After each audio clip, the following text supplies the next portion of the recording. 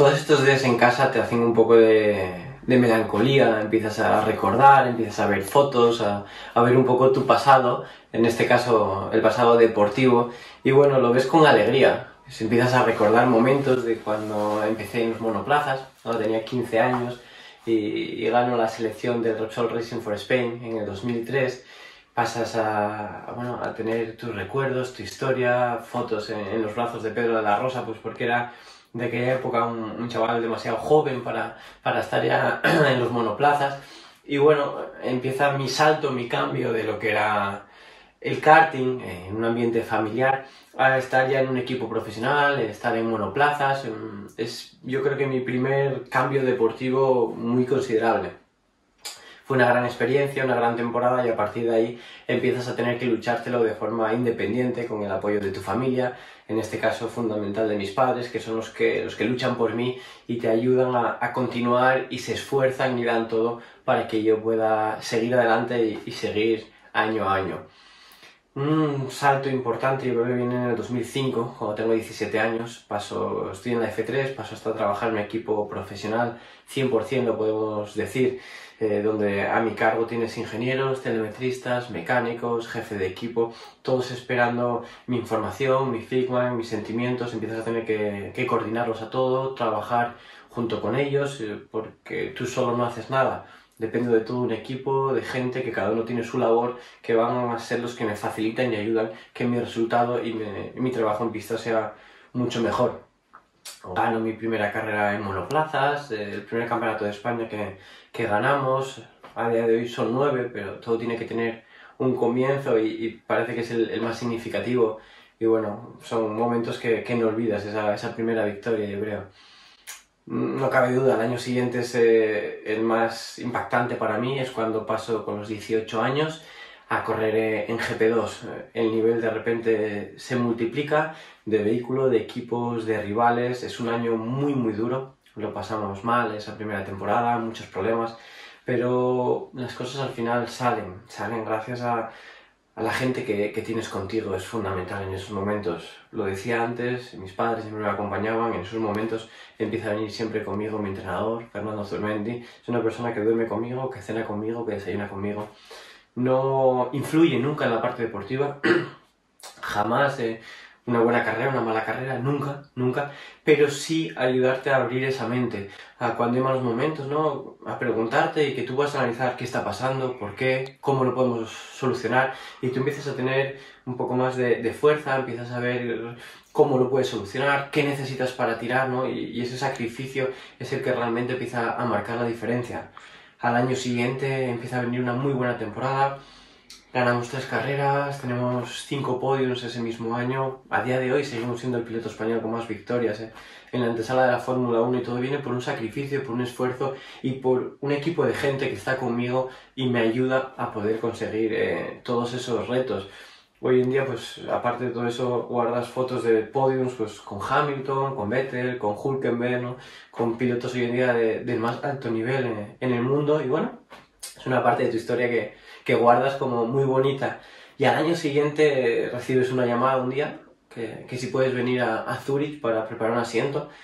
Y es cuando paso a formar parte del equipo de, de BMW de Fórmula 1, hago test con ellos, y, ahí sí se multiplica todavía más. Si antes tenías a 6, 7 personas contigo, ahora en una reunión vas a tener a 10, 12 personas, cada uno muy específico, suspensiones, ruedas, frenos, aerodinámica, todos esperando por ti, por tu información, por lo que necesitan escuchar para ellos poder trabajar, ¿no? Empiezas a tener un equipo de gente cada vez más grande, coordinarlo, un buen ambiente, que sepas llevarlos a todos, es fundamental, somos seres humanos y todos necesitamos un poco el apoyo de la persona que, que trabaja con nosotros y, y harás que ellos den más y tú podrás dar más gracias a ellos.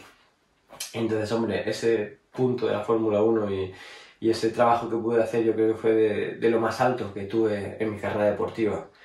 Aunque cierto es que unos años más tarde, en el 2011, cuando di el salto al Campeonato del Mundo de Turismos, fue una parte que no es tan mediático como los monoplazas, como el GP2, como la Fórmula 1, pero sí tiene mucho trabajo, tiene muchísimo nivel, tengo carreras muy importantes. Para mí Hungría, ese mismo año, en el 2011, que hice un podio en el Mundial de Turismos, fue una carrera dura, fue una última vuelta espectacular, cada vez que la veo en televisión me sigue encantando, pues eh, en ese caso era contra Tarquini, contra Müller, un piloto que tiene dos mundiales, el otro tiene cuatro mundiales, nosotros íbamos un equipo privado, con, con, mucha falta de medios, ¿no? Pero al final en la pista se, pudo defender, lo pudimos conseguir y, batir en esa última vuelta y, y para mí posiblemente sea una de las carreras eh, más especiales que recuerdo por la lucha en pista, no por lo que, es, eh, por lo que puede ser el resultado en sí, pero sí por el trabajo. A continuación, a, a los dos años siguientes pude conocer el mundo NASCAR. Ahí para mí cambió bastante.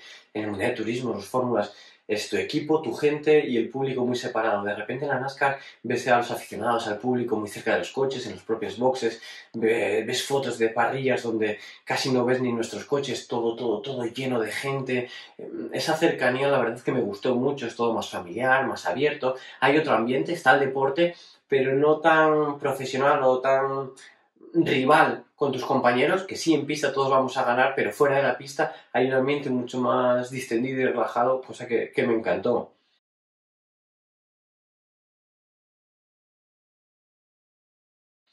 Años siguientes, eh, tengo un recuerdo, pues me invitaron a hacer la carrera más larga del mundo, 32 horas de, de resistencia. Ahí sí viví una cosa muy distinta.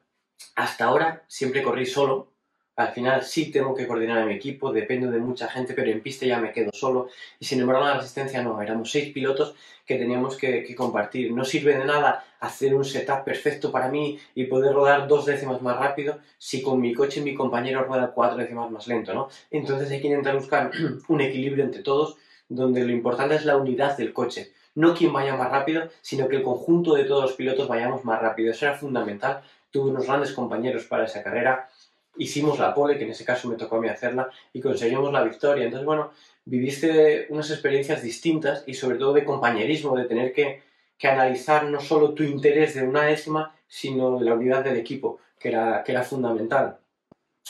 Y estos últimos años eh, es un poco especial, estoy corriendo en montaña, sigo manteniendo esa cercanía que, que, empecé a vivir en la NASCAR, pues con aficionados, con, con, las ciudades donde vas, con el pueblo, con la gente, que es muy bonito, pero el coche que para el equipo que estoy corriendo es un fabricante asturiano, es un fabricante que hace todo el coche, no existe nada, y se diseña carrocería, aerodinámica, suspensiones, todo, se hace todo aquí, ingenieros, universidad, todo aquí en Asturias, el año pasado decidió hacer un coche FIA para poder hacer Campeonato de Europa. Conseguimos nuestro primer podio, además lo conseguimos aquí en Asturias, en la subida del Fito. Y, esos mm, retos son muy especiales y yo creo que le falta difusión al hecho y al sacrificio que está haciendo y el trabajo que se está haciendo aquí en Asturias con determinados equipos, con determinados coches y los logros que podemos tener, pero bueno, esto lo conocemos frecuentemente y, y al final yo creo que hay que disfrutarlo y que sean muchos más años los que sigamos aquí.